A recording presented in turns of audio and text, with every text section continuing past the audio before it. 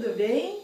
Estou hoje aqui para trazer uma receita nova, é um bolo de queijo, muito facinho de fazer, como as receitas que eu gosto fáceis e bem saboroso. Vai tudo no liquidificador, a gente bate, coloca numa forma de pudim, forma de buraco, e leva para assar no forno médio. Facinho de fazer, rápido e prático. E eu espero que vocês gostem dessa receita. Hoje é aniversário da minha avó, já falei dela para vocês, que faz os, fazia os tricozinhos, agora já não está mais dando conta. E hoje ela faz 93 anos e esse bolo estou dedicando para ela, tá certo?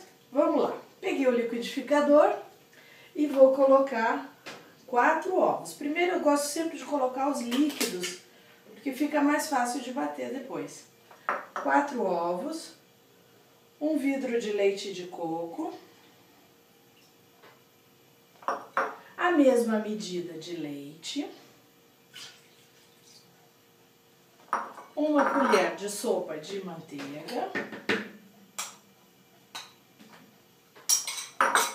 três colheres de sopa de queijo ralado parmesão, 3 xícaras de açúcar,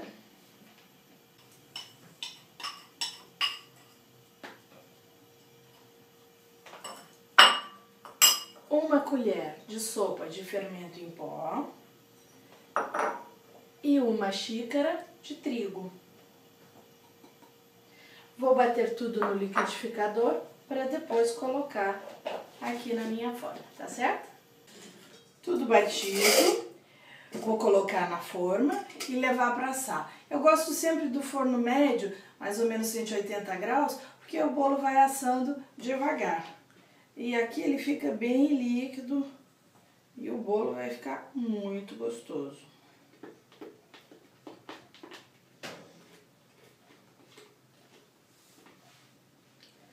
Vou levar para assar agora.